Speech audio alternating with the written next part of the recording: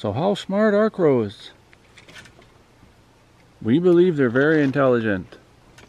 There's a lot of things that, you know, we don't know about them. Like how do they know when to migrate? And how do they find the same place when they do come back? And, you know, what kind of navigation system do they have? Their memory is incredible. They know how to use tools to get food. So, they're very intelligent. Hey guys, it's Dennis here. And it's time for another question and answer video. Or a Peach's Corner, whatever you want to call it. But Peach isn't in the corner today. But we got that question from one of our uh, subscribers and viewers. They asked, like, what do you think the age of intelligence they are compared to humans? Like, what do they think, 14 or, or something like that? And, you know, I don't really know, obviously. I'm not a scientist or anything. And, and do the scientists even know? I've read that they think crows have the intelligence level of a seven year old, which would be amazing too. But when you think of it, could a seven year old do the things crows do? Right? And could a crow do what a seven year old can do? But they are they can they can solve problems and they can get food and they can use tools to get food and and they migrate thousands of miles like back and forth and they find the same place. So i don't know what what uh, equivalent they would be on but you know I, believe it's they're quite intelligent so that's up for debate right guys? What do you guys think? You weigh in on that. And there's peach. He's really molted nicely. It took a long time but he's doing well. Uh, Goldman uh, walking again, that's the one who asked the question about the intelligence. He has a joke here, a real funny joke. says, uh, last week my body fell off. I looked everywhere for it, but couldn't find it. After a month I decided to quit while I was ahead. that's funny. You get it guys? well he was just ahead. that's the kind of jokes I like. They're kind of corny, but they're clean jokes, right? So I don't mind that. There's that's a lot of fun. I like that sense of humor. So Goddess 110 asks, do you think Cherry will ever become imprinted? Uh, no, he won't. I- I'm sure he won't. Like, there's a period there, you know, there's a little bit the period when they're young that they go through. And they're set for life after that. Like, Cherry accepts his limitations, I'm sure. But he's never going to be comfortable with us and he's never going to be imprinted like it has to happen at a certain stage just like a dog like goes through a fear period some dogs like when you rescue a dog they they have something that's that might not be right with them right they might be scared of something that other dogs aren't or maybe they don't want to go in the car or maybe they don't want to go in the water they're they're just terrified so there's a period in an animal's life even in people's lives that they go through and that could determine how they are for the rest of their life. Carol the Crow has a couple questions here. She asks, will we ever take the birds back to the beach again like we used to? Used to hang out on the beach? Uh, due to the bird flu now these years, we're probably not going to do that because the birds would be pecking in the sand and stuff. There's some water dripping from the roof here. It just rained recently. We didn't uh, push that off. But, you know, we're kind of scared of the wild birds. There's a lot of seagulls out there and stuff and other wild birds that carry that that flu. So we're kind of scared to do that. So we're probably likely not going to do that, Carol. Seemed more like a comment, Carol, but I think what you were getting at was do uh, birds live longer in captivity than in the wild? Yeah, they do because they get a constant food supply. They're protected from predators, then like the flu and stuff. So they will live longer in captivity.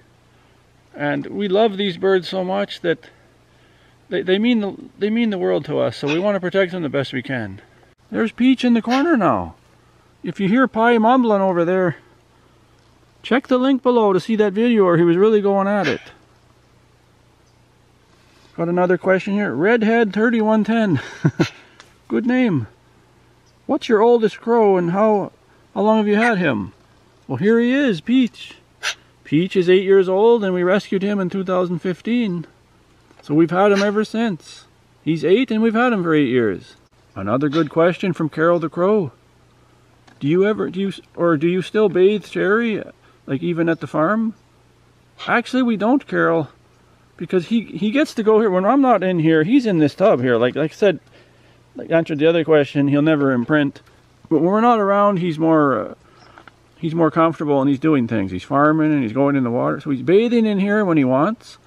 And even in the winter when we're bringing them, he's having a snow bath. So there's not really a need like the city because the city he didn't get out much there. It wasn't the same as here and we, we had to bathe him. So as it's as it sits now, we're not bathing him anymore. He's looking after his own uh, hygiene. Ronald Wisniewski, sorry if I mis if I didn't pronounce that properly. He's asking, do the birds play with toys? Do they like playing with toys? Yeah, they do. Even Cherry, he's not imprinted, and you hang toys in the cage sometimes, and he's mm-hmm. pecking at them and banging them, and and he enjoys it. So sometimes, yeah, they like to play with toys. I might have to do another talking video. He's he's making some noises in the corner, but here's a question from someone. What a wild name this is. User VG4MW8SU4. what is the clacking sound that birds are making? And why do they move from side to side on a branch sometimes? Like they've they've observed that. Like why are they going back and forth? You know, we're not quite sure with the crackling sound. You know, if you, you have a YouTube channel, if you're able to comment, you do have an account. If you can ever record that, upload a little clip of that and then publish it and then we can go take a look at it. Like if you can do that, just record it with your phone. You don't have to do any professional recording. Just try to get that sound because I'm not quite sure. And yeah, we've seen these birds. They go, they're dancing from side to side, and you you said why would they do that?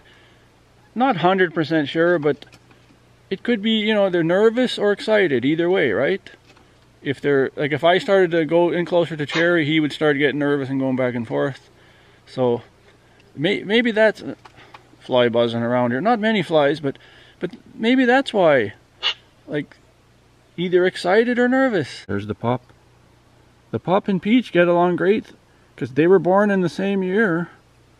They're from 2015. They're both eight years old and they grew up with each other and they both imprinted on each other. Cassie's used to, to Peach and Peach is used to Cassie. Not all the birds are like this. They're, they're used to seeing Cassie around. They used to be, you were used to seeing Sammy the Boss too. Sammy the Boss passed away in December of 2021. I still miss him. But uh, Peach wasn't scared of Sammy. Sammy would come in, and come cruising and look and check them out sometimes. And Sometimes we hear cat noises to this day. Peach makes those noises. And even little Pie makes some strange noises like a cat. So, they remember Sammy.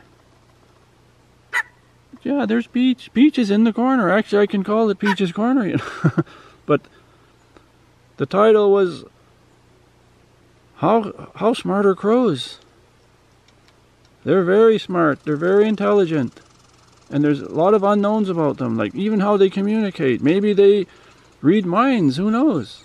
Sometimes we see them like real close together. You'll see maple's beak down by uh, peach's head and peach's beak down by maple's head. And it's like they're in deep thought. And they're right up close to each other. There's no noises going on. There's no movement. And they're not sleeping.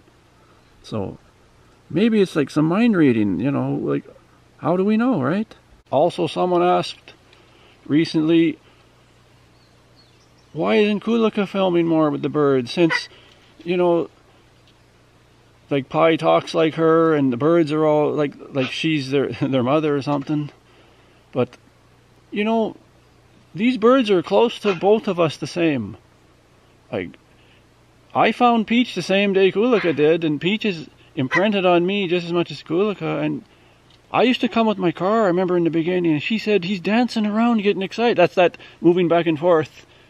Because I'd pull up in my vehicle, it was rumbling, and he was excited. He knew it was me coming. So, he's excited to see me as much as I am him, and like Kulika and I share the same thoughts with the birds, and I'm sure the birds are used to us just the same.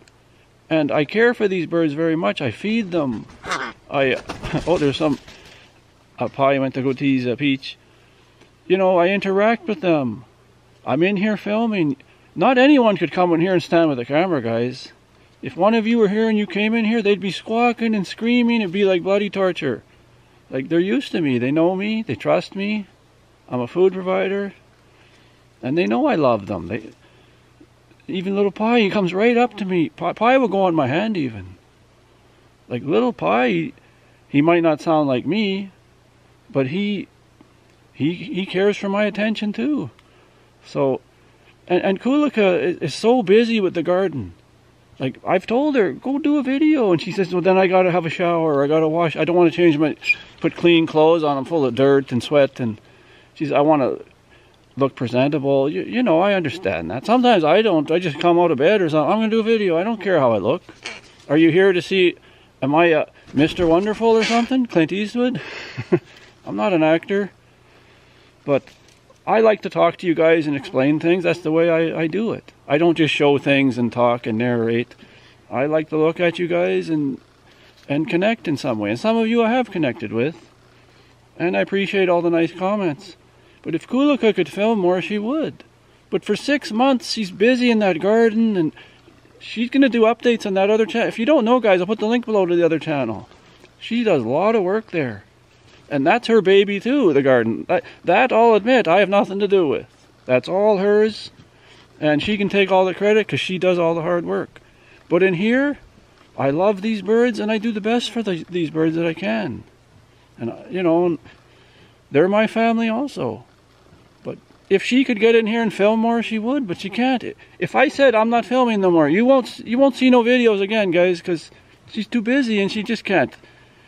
I mean, she'd have to, I guess, but she just can't drop what she's doing. And anyways, I just wanted to say that. And so I hope you enjoyed this video. And look at Cherry. Hello, Cherry.